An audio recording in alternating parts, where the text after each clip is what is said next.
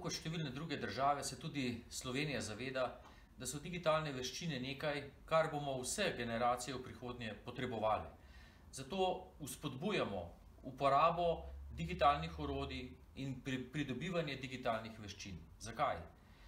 Digitalne veščine so nekaj, kar nam lahko prispeva k večji kvaliteti življenja, k boljšemu dostopu do informacij, večji izobrazbi, nenazadnje tudi boljšemu socialnemu povezovanju. In je nekaj, v kar ljudi ne želimo siliti, hkrati pa ponujamo možnosti in kažemo, kako lahko te nove veščine z novimi orodji naše življenje obogatijo. Zato se tudi Slovenija zavzema za pospešeno, tako imenovano digitalno preobrazbo oziroma, da bi čim več Slovencev vseh starostnih kategorij imelo digitalna znanja in tako tudi bolj kvalitetno življenje.